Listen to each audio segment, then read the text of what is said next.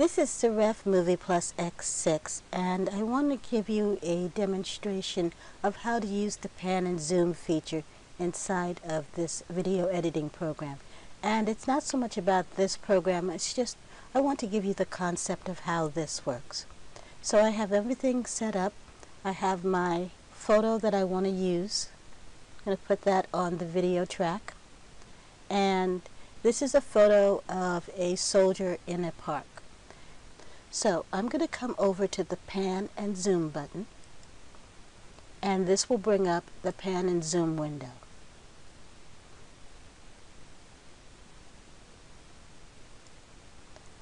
And the first thing I want to do is I want to tell it to match the project aspect of the video. Now this is going to crop the photo and when you use photos, you want to try to use the best quality photo as you can. And I now have the photo in the correct uh, aspect ratio, and you can see that in the preview monitor up top. Uh, one of the things I can do is choose the area where I want to start the animation or the zoom effect.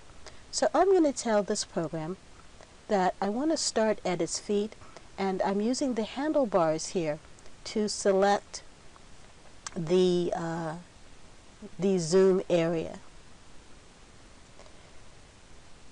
And I'm going to come over here and do the same thing to this one and I'm going to tell using the zoom handles here that I want the zoom to end in the upper part of his body. I'm now going to hit preview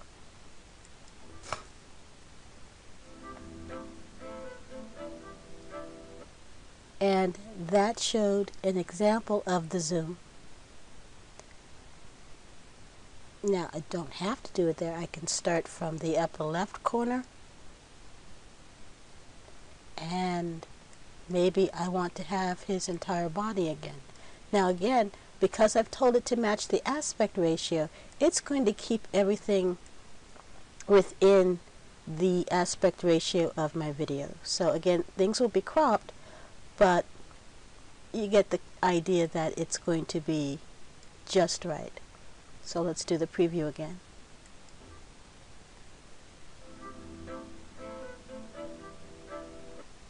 Okay, that is basically it. This program uh, in this window doesn't really give me that much control over how uh, fast or slow or any of the fine controls, but it gets the job done. This is basically all that I can do at this point.